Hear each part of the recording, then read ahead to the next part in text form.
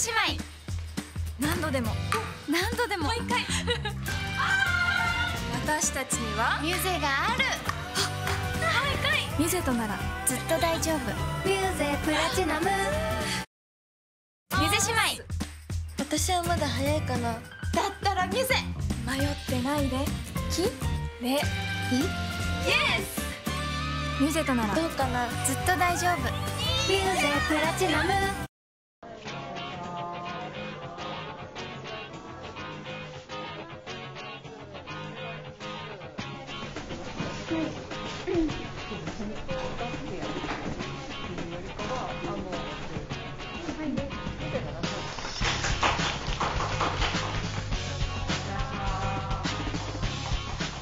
いやもう本当に素直に嬉しかったのと同世代の子たちとか年下の子たちとかなんかもっともっとその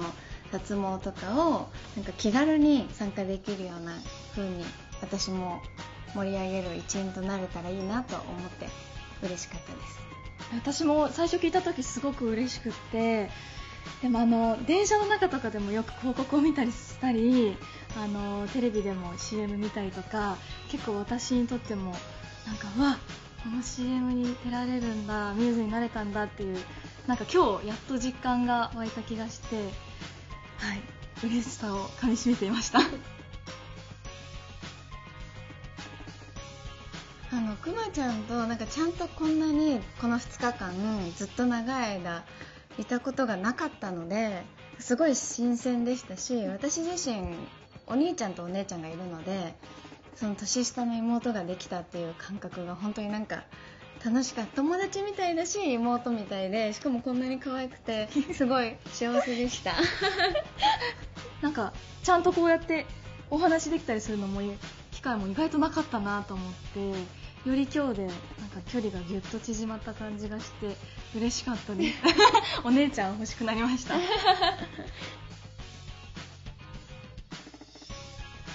うん得意ではない卓球を私たちは頑張ったので。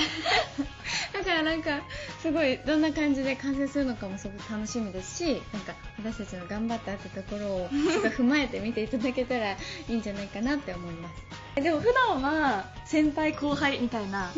あの関係値なんで関係っていう関係なんですけど今日はなんかベッドの上でこうはしゃいだりとかなんかそういう風に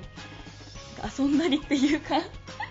撮影を通してできて楽しかったです。すごく。そこを見てほしいです。日焼け止めをなんか冬も塗るように頑張ったりとかあとなんかやっぱり水分量が多い肌がすごく憧れるので、なんか保湿をたくさんするようにはしてます。えー、と私は、えーもちもちしててこうなんかスベッとしてるような肌になりたいなと思ってるんですけど私自身結構ボディケアがすごく好きなので結構日頃からボディクリームでマッサージとかするように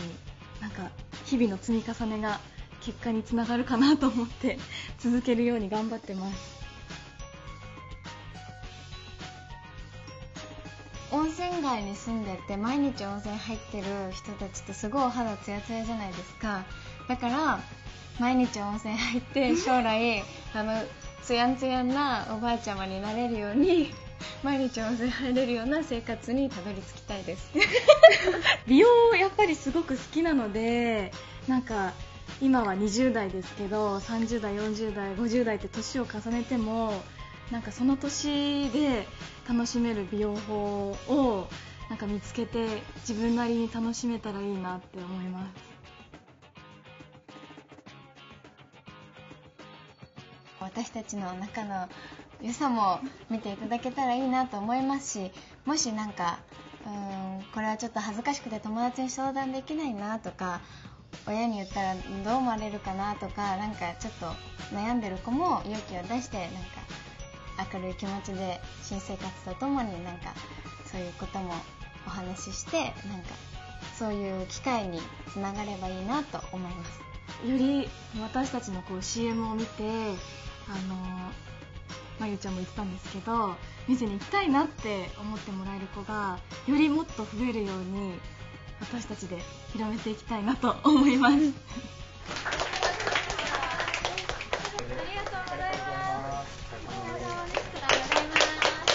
哈哈